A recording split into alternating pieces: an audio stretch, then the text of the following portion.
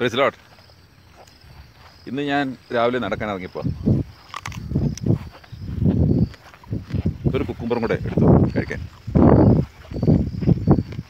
ഒരിക്കൽ കത്താവിന്റെ ശിഷ്യന്മാർ ഭക്ഷണം കഴിച്ചുകൊണ്ടിരുന്നപ്പോൾ പരീക്ഷന്മാർ വന്നിട്ട് പറഞ്ഞു ഇവർ ഭക്ഷണം കഴിക്കുന്ന രീതി ശരിയല്ല. അപ്പോൾ കത്താവ് ചോദിച്ചു എന്താണ്? അപ്പോൾ പരീക്ഷന്മാർ പറഞ്ഞു ഇവർ ഭക്ഷണം കൈ കഴുകാതെയാണ് ഭക്ഷിക്കുന്നത്. കൈ കഴുകാതെ ഭക്ഷിക്കുക. നാം സാധാരണ എന്ത് ഭക്ഷിച്ചാലും ഇത് ഭക്ഷിക്കുന്നതിന് മുമ്പ് കൈ കഴുകുന്നത് ശീലമുണ്ട്.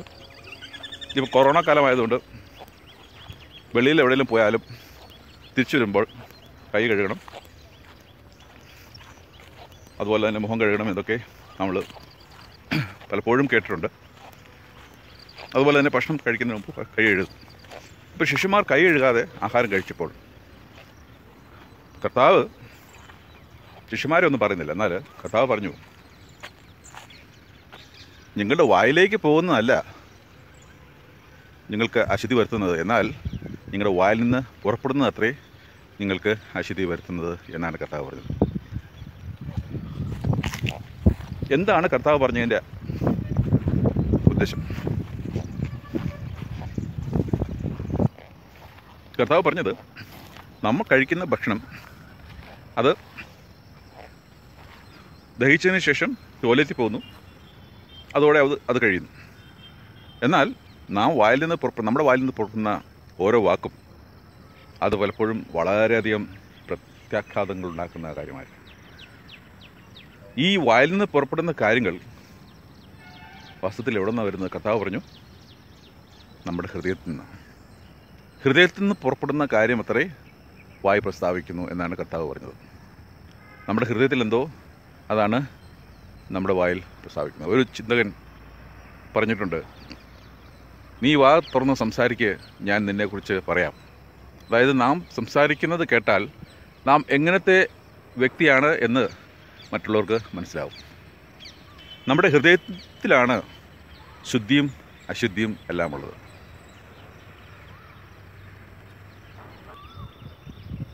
ഹൃദയത്തിൽ നിന്നാണ് ദുഷ്ചിന്ത പരസംഗം വ്യഭിചാരം കൊലപാതകം മോഷണം അങ്ങനെ പലതും ഹൃദയത്തിൽ നിന്ന് പുറപ്പെടുന്നതാണ് എന്നാണ് കർത്താവ് പറയുന്നത്.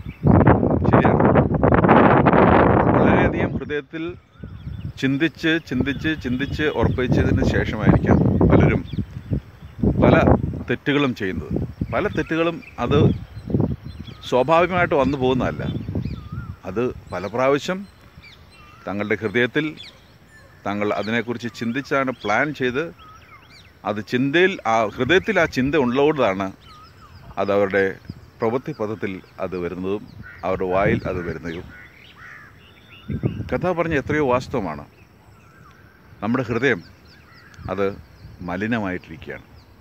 നമ്മുടെ ഹൃദയം മലിനമാക്കി ഇരിക്കുന്ന ഹൃദയത്തെ അത് ശുദ്ധീകരിക്കുവാൻ ഒരു സാനിറ്റൈസറിനും സാധിക്കുകയില്ല. ഒരു സോപ്പിന് സാധിക്കുകയില്ല. കർത്താവിന്റെ രക്തത്തിന് മാത്രമേ സാധിക്കുകയുള്ളൂ. നമ്മുടെ കൈ വേണം എങ്കിൽ നമുക്ക് കഴുകി അത് ശുദ്ധീകരിച്ച് അണുവിമുക്തമാക്കി യാതൊരു രോഗവും നമ്മുടെ ഉള്ളിൽ കിടക്കാതെ നമുക്ക് സൂക്ഷിക്കാം. എന്നാൽ നമ്മുടെ ഹൃദയത്തിന്റെ രോഗം അത് പരിഹരിക്കണമെന്ന് ഉണ്ടെങ്കിൽ അത് ശുദ്ധീകരിക്കണം എന്നുണ്ടെന്നുണ്ടെങ്കിൽ കർത്താവിന്റെ രക്തം കൊണ്ട് മാത്രമേ സാധിക്കുകയുള്ളൂ. യാതൊരു കർമ്മങ്ങളോ യാതൊരു ആചാരങ്ങളോ യാതൊരു കഴുകലോ സ്നാനമോ ഒരിക്കലും നമ്മുടെ ഹൃദയത്തിന്റെ അഴുക്ക് ശുദ്ധീകരിക്കാൻ പര്യാപ്തമല്ല. എവിടെ പോയി നീ മുങ്ങിയാലും ഒരിക്കലും നിന്റെ ഹൃദയത്തിലുള്ള നിന്റെ ദുഷ്വിചാരങ്ങൾ അത് മാറുവാൻ സാധിക്കില്ല.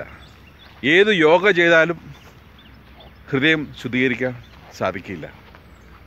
എത്ര ധ്യാനം ചെയ്താലും ഹൃദയം ശുദ്ധീകരിക്കാൻ സാധിക്കുകയില്ല. എത്രയോ കഠിന പ്രയത്നം ചെയ്താലും ആത്മസമയനം പാലിച്ചാലും ചില സമയങ്ങളിൽ നമ്മുടെ സമയനമൊക്കെയും വിട്ടുപോകാൻ സാധ്യതയുണ്ട്. എന്നാൽ ഹൃദയം ശുദ്ധീകരിക്കാൻ ഒരേ ഒരു സോപ്പ് മാത്രമേ ഉള്ളൂ. ഒരേ ഒരു കാര്യം മാത്രമേ ഉള്ളൂ.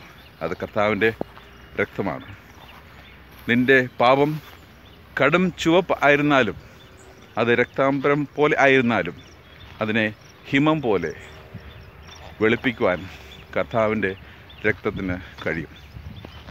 അങ്ങനെയുള്ള ഹൃദയങ്ങളിൽ നിന്ന് പൊങ്ങുന്ന സ്തുതിയും സ്തോത്രവുമാണ് ദൈവത്തിന് സ്വീകാര്യമായിട്ടുള്ളത്.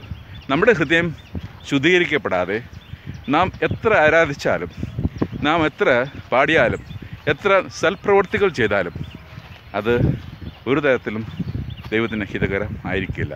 അതൊക്കെയും കറ പുരണ്ട തുണി കൊണ്ട് നാം തുടയ്ക്കുവാൻ പാത്രങ്ങൾ ഉപയോഗിക്കുമ്പോൾ ആ പാത്രങ്ങളിൽ ആ തുണിയുടെ കറ പുരളുന്ന പോലെയാണ്. നമ്മുടെ ഹൃദയത്തിലുള്ള അശുദ്ധി നാം എത്ര സൽപ്രവൃത്തി ചെയ്താലും അവയിലേക്കൊക്കെ പുരളുകയാണ് ചെയ്യുന്നത്. എന്നാൽ ആദ്യം ചെയ്യേണ്ടത് നമ്മുടെ ഹൃദയത്തെ ശുദ്ധീകരിക്കുകയാണ്. തീർച്ചയായിട്ടും നമ്മുടെ ഹൃദയത്തെ ശുദ്ധീകരിക്കാൻ വന്ന കർത്താവിന്റെ രക്തത്തിൽ നമ്മൾ ആശ്രയിച്ച് കർത്താവിന്റെ നാമത്തെ ശരണപ്പെട്ട് കർത്താവായ യേശു ക്രിസ്തു എനിക്ക് വേണ്ടി ഈ ലോകത്തിൽ വന്നു എനിക്ക് വേണ്ടി മരിച്ചു എന്ന് വിശ്വസിച്ച് അവനെ കർത്താവും രക്ഷിതാമെന്ന് വായുകൊണ്ട് ഏറ്റുപറയുകയും ചെയ്താൽ നീ രക്ഷിക്കപ്പെടും. അങ്ങനെ ഓരോരുത്തർക്കും ഈ സൗഭാഗ്യം ഉണ്ടാകട്ടെ എന്ന് പ്രാർത്ഥിച്ചുകൊണ്ട് ഇന്ന് ഈ വചനത്തിൽ നിന്ന് ഞാൻ വിരമിക്കുന്നു. ദൈവനാമം വാഴ്ത്തപ്പെടുമാറാകട്ടെ